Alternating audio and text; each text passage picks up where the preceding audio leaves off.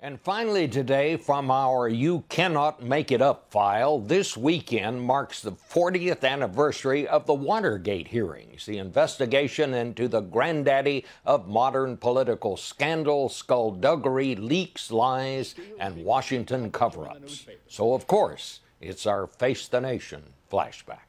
I began by telling the president that there was a cancer growing on the presidency White House counsel John Dean blew the lid off the Watergate cover up when he implicated Nixon and top aides, himself included, in his Senate testimony. During the hearings, he described Nixon's obsession with disarming political opponents. There was also maintained what was called an enemies list, which was rather extensive and continually being updated.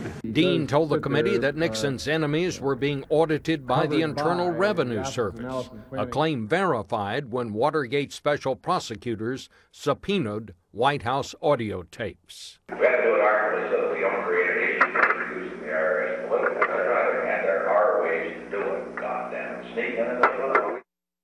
Note to those who missed the point didn't work then, won't work now.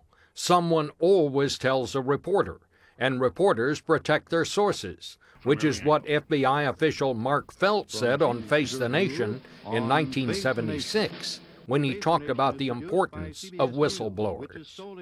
What I'm wondering is whether you want to take credit at this time for helping unmask any of the Watergate cover up.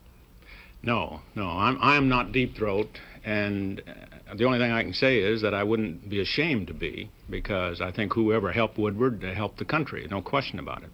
What we later learned, of course, was that Mark Felt was Deep Throat, and he guided reporters Bob Woodward and Carl Bernstein through the web of deceit that was Watergate, the scandal that brought down the president.